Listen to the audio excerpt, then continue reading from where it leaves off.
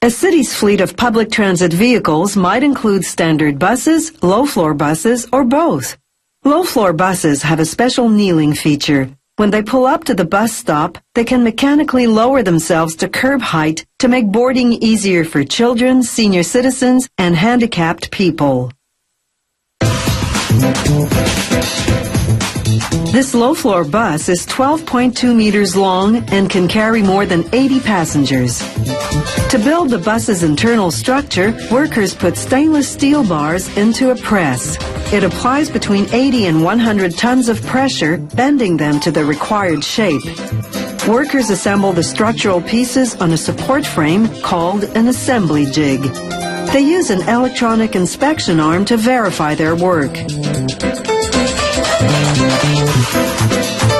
Once they've assembled the roof structure and the side structures, they bring them together for welding.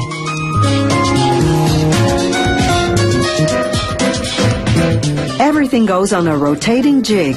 It turns like a giant rotisserie, giving workers easy access to whatever part of the bus they need to weld.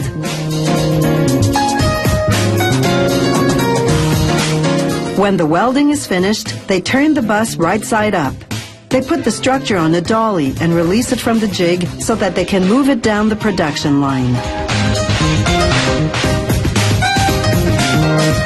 Meanwhile, the stainless steel structure for the floor of the bus takes shape. Once that's complete, it's back onto the rotating assembly jig to weld it to the rest of the structure. This bus factory uses stainless steel because it stands up well to corrosion.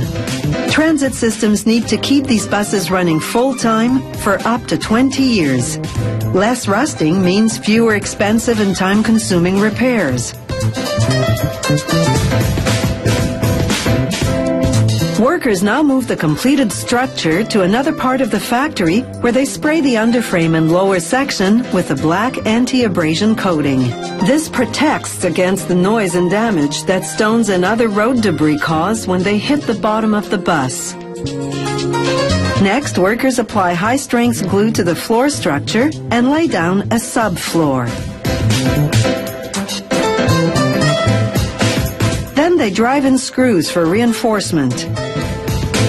Now they turn the bus upside down to install four tanks of compressed air under the roof. Three are for the brake systems, the fourth for the doors and other mechanisms. Melamine ceiling panels hide everything that's under the roof. Next, the engine's radiator goes in at the rear of the bus. Then workers turn the bus right side up again and lay down a waterproof vinyl floor covering that's specially designed to withstand heavy-duty transit use. They cover the sides and roof with fiberglass panels. To prevent corrosion, workers use glue rather than screws or rivets. Then they attach the fiberglass front of the bus to the rest.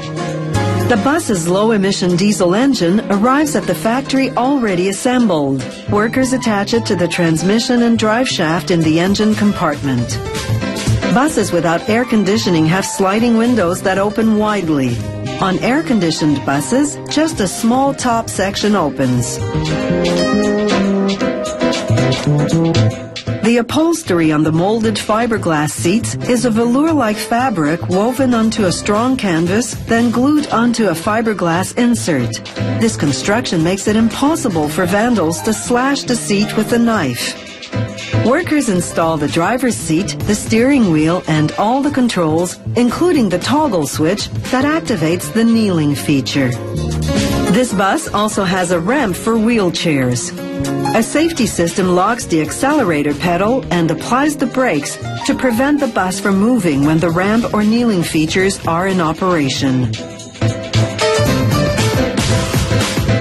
The finished bus undergoes a half-hour water infiltration test with all the systems running.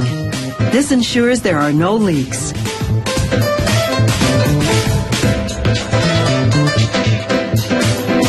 At every phase of production, the factory does a quality control inspection, checking everything from mechanical safety to finishings, right down to the tiniest of details.